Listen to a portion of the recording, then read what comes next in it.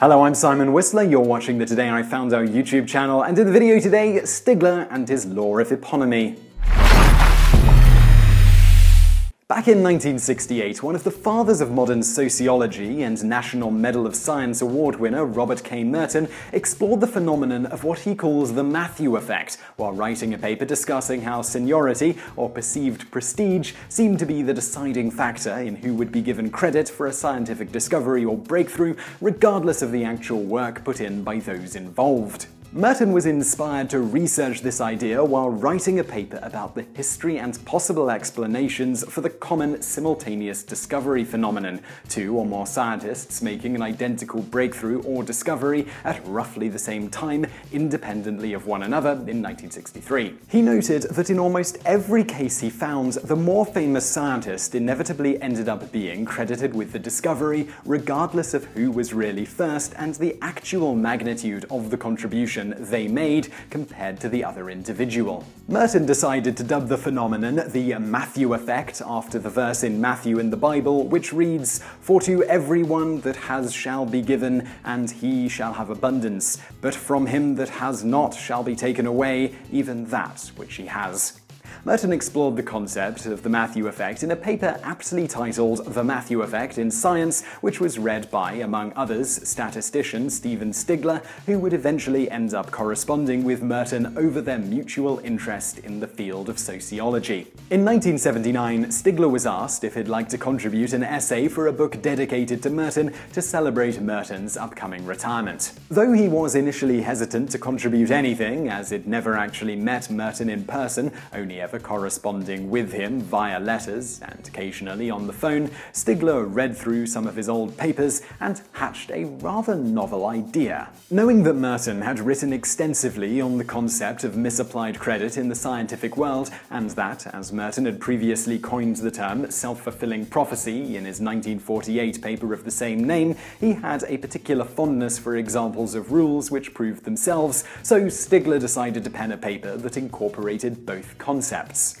The result was Stigler's Law of Eponymy, a 10-page essay more or less explicitly copying Merton's previous work, exploring the history of misapplied eponymic rewards. In this paper, Stigler defined his law as no scientific discovery is named after its original discoverer. Presumably for anyone who didn't get the joke, the paper included a disclaimer in the abstract stating, I have chosen as a title for this paper, and for the thesis I wish to present and discuss, Stigler's Law of Eponymy. At first glance, this may appear to be a flagrant violation of the institutional norm of humility, and since statisticians are even more aware of the importance of norms than are members of the other disciplines, I hasten to add a humble disclaimer. If there is an idea presented here that is not at least implicit in Merton's The Sociology of Science, it is either a happy accident or a likely error. Luckily for Stigler, the joke didn't fall flat. Stigler's law was not only seen as a genuine, touching tribute to a man who had made remarkable contributions to his field,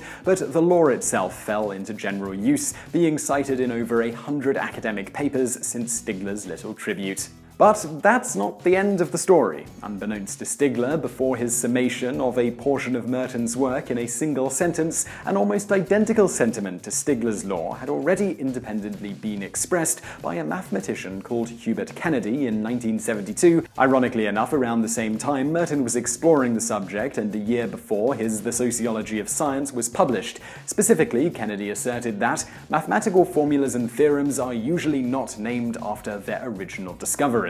Kennedy dubbed this declaration Boyer's Law in his paper on the subject, Who Discovered Boyer's Law? This was published in the 1972 edition of the American Mathematical Monthly. The Boyer he's referencing here is mathematical historian Carl Boyer, who had himself noted a number of instances of this phenomenon in his 1968 book, A History of Mathematics. Specifically, Kennedy stated, in part, Boyer, in his recent text, A History of Mathematics, has observed Clio, the muse of history, often is fickle in the matter of attaching names to theorems. The observation that theorems are not named after their original discoverers is amply supported in his book, where some 30 such cases are explicitly mentioned in chapters 18 through 24. Examples here are both the Maclaurin and Taylor series, Picard's method, and De Morgan's rules in logic. To conclude his little article, Kennedy stated of his decision to name this proposed law after Boyer, it is perhaps interesting to note that this is probably a rare instance of a law whose statement confirms its own validity. Okay, let's make sure we're all on the same page here.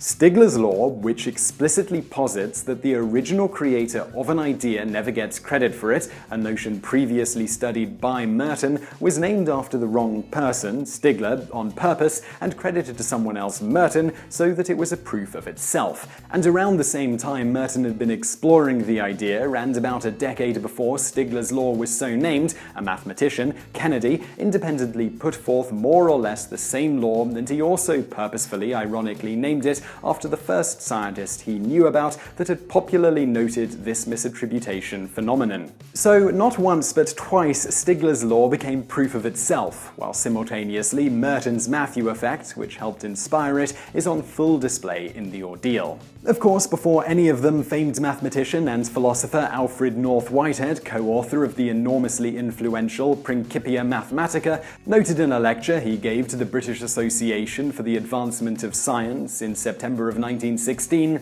everything of importance has been said before by somebody who did not discover it. So I really hope you enjoyed that video. If you did, please do give us a like below and don't forget to subscribe if you haven't already. Also over there on the right are a couple of other videos that you might enjoy if you enjoyed this one, and thank you for watching.